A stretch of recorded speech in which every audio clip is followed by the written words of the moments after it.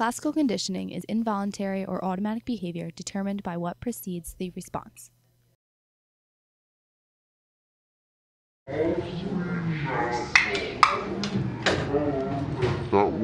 The unconditioned stimulus is the treat, the unconditioned response is salivation, the conditioned stimulus is the clicker, and the conditioned response is salivation.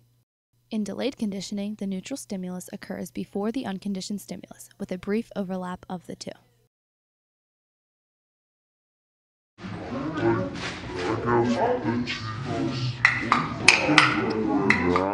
As you can see, the sound of the click occurred before the food was given. Watch again.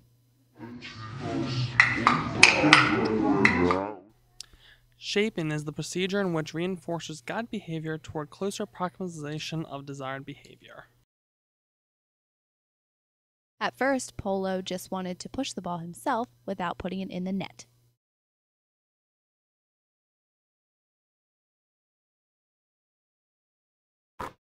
After much shaping, Polo realized what task he needed to complete.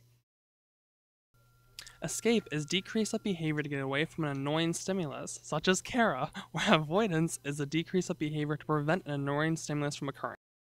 Polo was scared at first, but then he escaped his fear.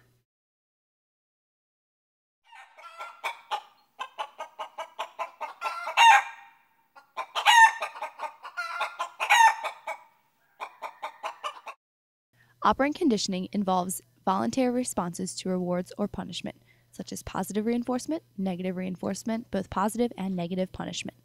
In a fixed ratio schedule of reinforcement, you know the number of acts you must complete to get a reward. In a variable ratio schedule, you do not know the number of acts you must complete to get a reward. In the Skinner box, Polo was on a fixed ratio schedule of reinforcement, meaning he received a pellet after each press of the bar.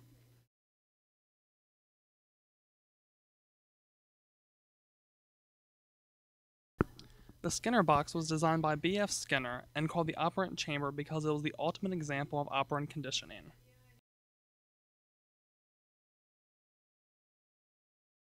Chaining is the links between learned tricks and behaviors. The obstacle course was an example of chaining because we linked several known tricks together and Polo was successful.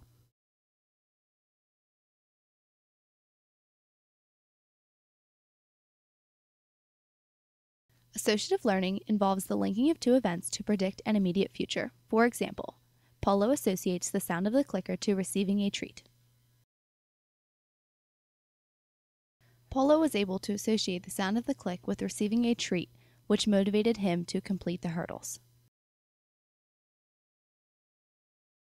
latent learning is learning that becomes apparent only when there is some incentive to demonstrate it.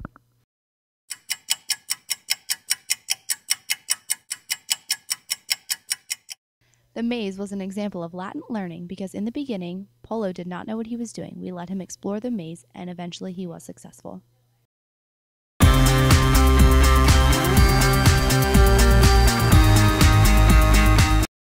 The law of effect insists that rewarded behavior is likely to reoccur. Because Polo was rewarded upon completing his tricks, he was more likely to repeat those same tricks.